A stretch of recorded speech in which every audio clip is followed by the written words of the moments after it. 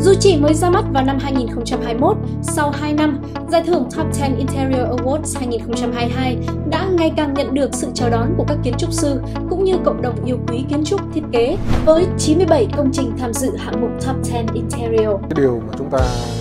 có thể nhìn rõ trong các cái bài dự thi của cái hạng mục nội thất đó là một cái sự đổi mới trong diện mạo của không gian cũng như của tất cả những đồ vật. Cái điều đó chứng tỏ rằng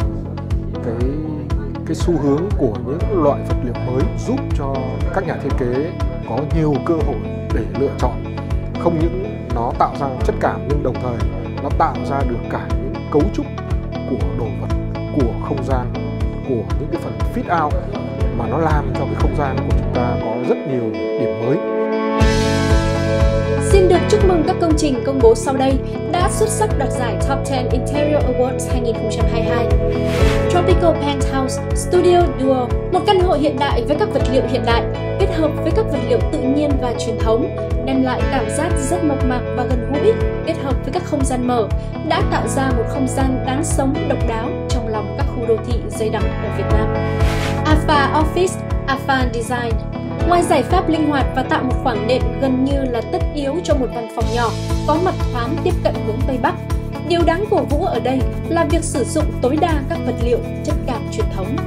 NAT06 Dow Hole Studio NAT06 đã giải phóng được một lượng lớn diện tích sàn hiện hữu để bổ sung ngược lại vào chất lượng cho chính ngôi nhà. Kasaya Vatkasa Lay House băm lỗi tạo hình đậm chất biểu hiện cùng với nhiều chi tiết trang trí đã đem lại sự nhận diện đích thực của tác giả cho mảng thiết kế nhà hàng. Azuvat Coffee Roaster Premium A cộng H Architect trong bối cảnh của khu phố cũ bình yên, giản dị, quán cà phê được tạo dựng cho chính nơi đây với vẻ mộc mạc, tiết kiệm nhưng lại có sức cuốn hút mạnh mẽ.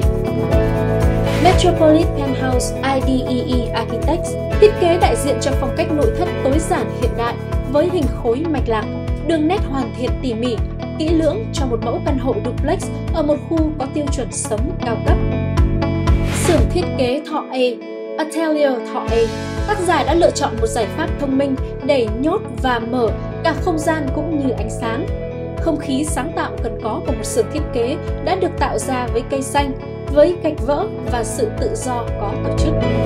Nhà hàng Akaari Premium NH Village Architects Công trình nhà hàng Akaari được lựa chọn là một trong top 10 nội thất của năm nhờ sự phối hợp khá nhuần nhuyễn giữa ba yếu tố, vật liệu truyền thống và cách làng nghề Bắc Bộ,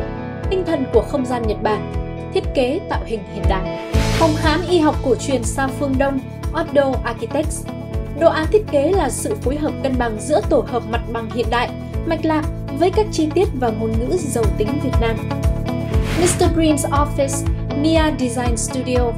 Mr. Green's Office đã thành công khi đề xuất được một tiêu chuẩn mới về chất lượng không gian làm việc trong các cao ốc.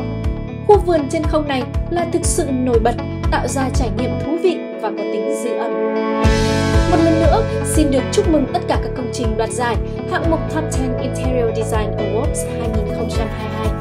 Ban tổ chức xin gửi lời cảm ơn đến các kiến trúc sư, các công ty, văn phòng kiến trúc nội thất, các đơn vị bảo trợ, bảo trợ truyền thông, đơn vị tài trợ đã đồng hành cùng chương trình.